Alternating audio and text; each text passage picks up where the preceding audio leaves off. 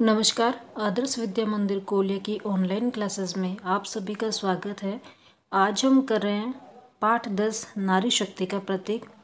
आधा पाठ कल हमने पढ़ा था, इसके आगे का पाठ है, जो हम आज पढ़ेंगे। कल हमने पढ़ा था कि भगिनी निवेदिता मूल रूप से आयरलैंड की महिला थी, जो कि स्वामी विवेकानंद के विचारों से प्रभावित होकर भारत आई थी। उनका पूरा नाम मार्गेट एलिजाबेथ नोबेल था तथा इनके पिता का नाम सैमुअल रिचमंड नोबेल तथा माता का नाम मेरी इसाबेला था। बचपन में इनके माता पिता का देहांत हो जाने के कारण इनका लालन पालन है जो कि इनके नाना हैमिल्टन ने किया था। मार्केट को पढ़ना अच्छा लगता था और पढ़ना भी अच्छा लगता था अपनी शिक्षण पद्धतियों के द्वारा पढ़ाती थी। आइए, इसके आगे का पाठ है जो कि आज हम पढ़ेंगे।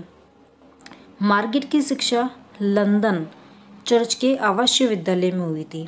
मार्गेट को शिक्षण का कार्य अच्छा लगता था अतः वह सत्रह वर्ष की उम्र में ही एक विद्यालय में पढ़ाने लगी।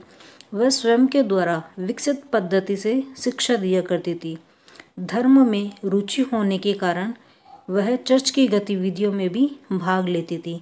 अधिकांश समय अध्ययन मनन सत्य की खोज में ही लगाती थी। तो मार्गेट मार्गेट को क्या था कि पढ़ना और पढ़ाने का काम है जो कि अच्छा लगता था। सत्रह वर्ष की उम्र में ही उन्होंने एक विद्यालय में पढ़ाना शुरू कर दिया था। तथा अपना जो अधिकांश समय है वो अध्ययन में और सत्य की खोज में ही लगाती थी। तभी एक घटना घटी जो उनके जीवन को एक नया मोड़ देने वाली थी। वह घटना थी कि एक सन्यासी का लंदन में आगमन हुआ। नाम था स्वामी विवेकानंद।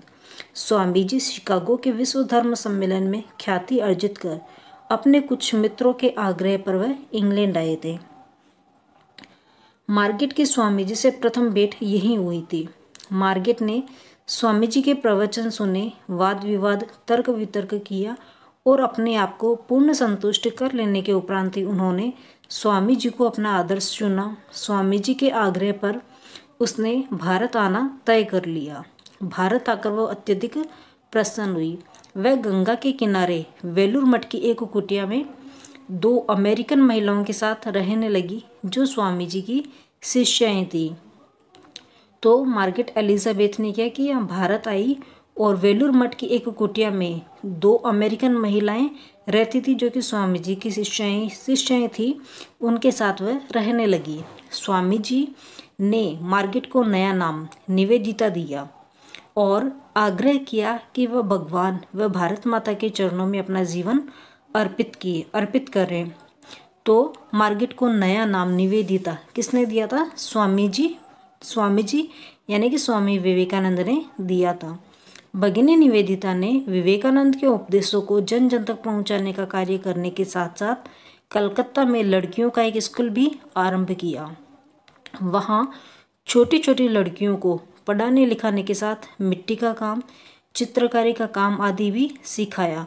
जब कलकत्ता में महामारी फैली तो निवेदिता ने टोली बनाकर दिन रात भूख प्यास की चिंता किए बिना रोगियों की चिकित्सा, सेवा सफ़ाई आदि कार्य कर पीड़ितों की मदद की। उन्होंने अंग्रेज़ी समाचार पत्रों में अपील प्रसारित कर मदद मांगी व धन संग्रह किया। वह लेखन, कला एवं बोलने में निपुण थे। इस क्षमता का उपयोग कर वह अपनी बात बड़े बड़े समूहों तक पहुँचाने में सफल हुई। तो मार्गेट मार्गेट एलिजाबेथ, उन्होंने क्या किया था कि जब कलकत्ता में महामारी फैली तो टोली बनाकर भूख प्यास की चिंता किए बिना रोगियों की चिकित्सा और सेवा सफ़ाई आदि का कार्य कर पीड़ितों की मदद की थी तथा धन संग्रह भी किया। निवेदिता ने जब अंग्रेज़ों का भारतीयों के साथ बर्बरतापूर्ण व्यवहार देखा तो वह पूर्ण ताकत के साथ भारत की स्वतंत्रता की लड़ाई का समर्थन करने लगी। उन्होंने बंगाल विभाजन का विरोध किया। उन्होंने जगदीश चंद्र बसु की, जगदीश चंद्र बोस की उपलब्धियाँ विश्व पटल पर रखी और महर्षि अरविंद के जेल जाने के बाद उनके कर्मयोगी पत्र के लिए संपादकीय लिखने का कार्य भी करने लगी। उन्होंने भारतीय स्त्रियाँ जो कि अधिक प्रभावित करती थी, उन्हें लज्जा, विनम्रता, स्वाभिमान, सेवा सेवा भाव निष्ठावान, ममत्व आदि की प्रतिमूर्ति दिखाई देती थी।